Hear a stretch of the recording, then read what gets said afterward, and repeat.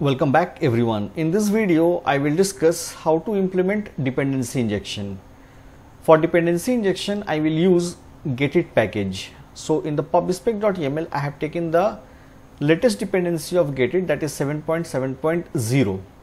Now for dependency injection, we need to register all the objects at the startup of our application. And to do that, inside the core folder here, I will create another folder and let me give its name as locators.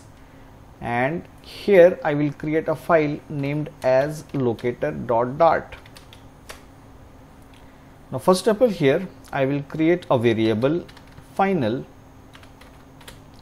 locator equals to get it which is provided by the get it package dot i.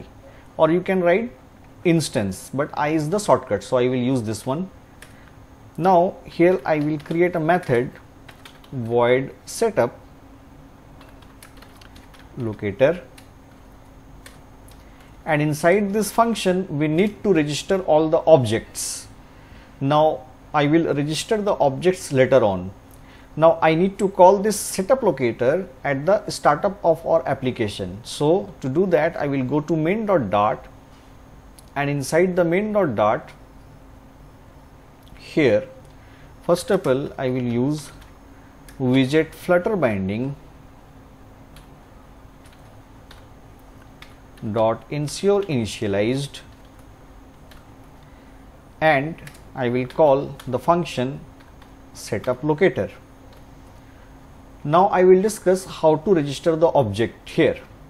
To do that first of all uh, to uh, check the internet connection in the project I will use a package internet connection checker. So let me click control shift P add dependency. And here I will use internet connection checker.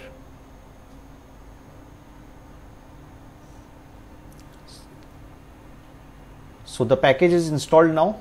Now here inside this function I will use locator dot register singleton register lazy singleton.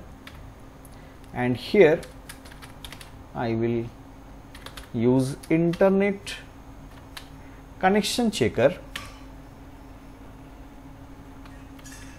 Actually I need to specify it is a generic type here so let it be here. And after that